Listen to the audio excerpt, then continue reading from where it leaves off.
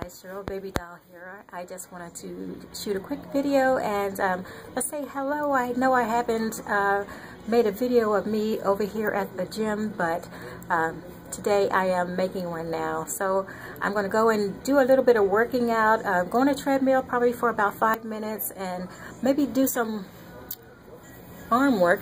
I need to tone up a little bit.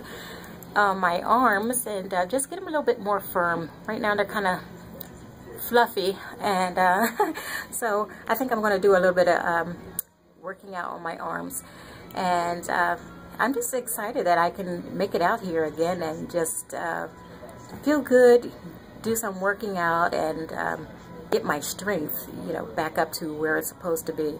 So um, that's all I have for now and um, I will see you later.